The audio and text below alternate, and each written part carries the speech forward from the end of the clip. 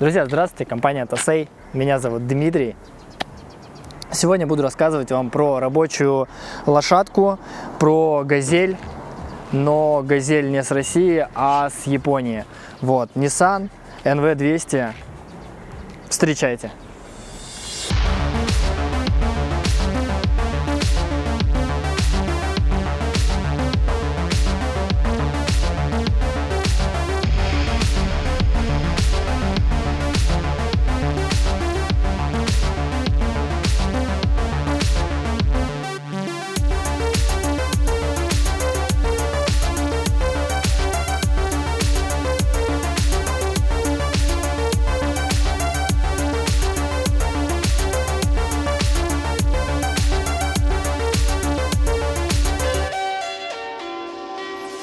2007 год на дворе. Японская компания Nissan а, предоставляет концепт э, рабочего автомобиля и называет его Nissan NV200 а, с прочерком Vanet. Вот. Далее, через два года, в 2009 уже свет увидела данный автомобиль. Вот, они бывают э, множество вариаций, такие как грузопассажирские, просто пассажирские, просто грузовые. Вот. Все зависит от ваших желаний. Какой автомобиль хотите приобрести, такой Nissan вам и даст.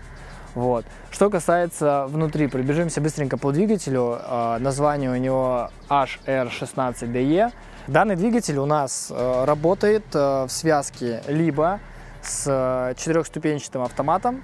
Если вы любитель автомата и любите, ну, не любите механику, то есть вот, можно заказать такой. Но если вы любитель экономии, любитель механики, то, пожалуйста, привозим вам двигатель вместе с пятиступенчатой механической коробкой. Такой же двигатель стоял и на рабочей Nissan AD, на Марче, на Nissan March, и также стоит на дилерских новых э, Жуках. Точно такой же двигатель.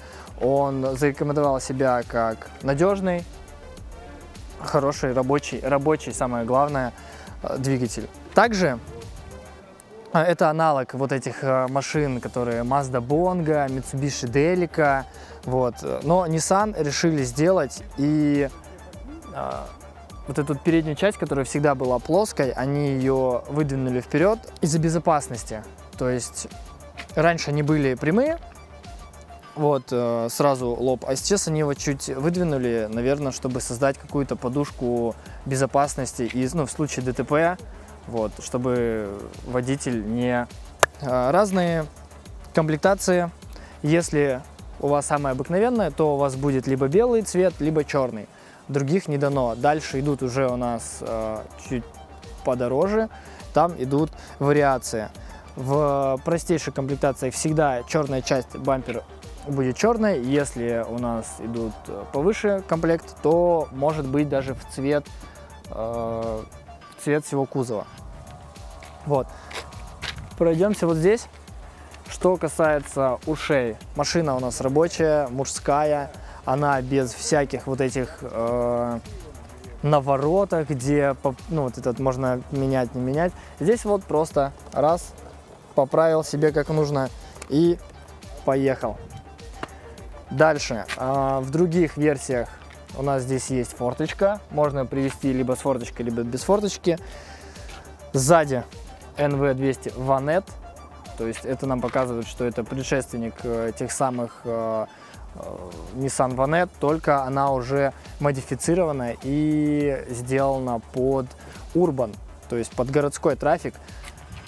Поэтому вот такая вот офигенная тачка. Грузопассажир 600 а, килограмм можно перевозить, но все мы знаем, что это 600 по заводу. Мы-то можем и впихнуть туда и 800. В принципе, наверное, хотелось бы мне показать внутренности и огроменный, а сама машина 4 метра в длину и получается пассажирский у нее, о, этот э, грузовое помещение 2 метра. Посмотрим, что внутри. Чтобы вам закрыть или открыть, есть вот такая ручка. Вот. В принципе, просторная. Это рабочая машина. Вам на ней возить кого? Или чего? Коробки, холодильники, э, фрукты, запчасти. Ну и все, больше нечего возить. Вот, э, возить абсолютно все, что угодно. Машина подходит как и для э, рабочего момента, ну, то есть что-то где-то отвезти, по городу привезти, так и для себя. Ну, то есть кого-то отвезти, перевезти. Можно даже на ней в ресторан поехать. Это будет очень необычно, никто так не делает. Вот, 2 э, метра уже, повторюсь, э, в длину. Также можно опрокинуть, э, давайте закроем. Также здесь у нас опрокидывается сидушечка. Сложно она выглядит вот так. Так, ну вот мы и внутри. Что сказать, у нас версия не простая, не просто грузовая, а грузопассажирская. Есть версии пассажирские, здесь еще будет один ряд сидений, и все это будет обшито э, пла пластиком, пластмассой. Вот. Э, есть версии, где лавочки вообще нету, это версия грузовая. У вас еще больше получается пространства для вашего груза. Здесь у нас есть перила. Перила это у нас снимается то есть вот таким вот образом, чтобы оно не мешало. Но оно предназначено больше для безопасности. Поставим его обратно. Вот. То есть у нас здесь есть ремни безопасности. Их щелкаем и едем. В принципе, очень удобно. Можно даже поставить сюда э, детей.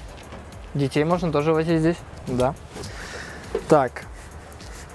Покажу, наверное, трансформацию. Как это происходит? Мы опрокидываем сидушку, дергаем за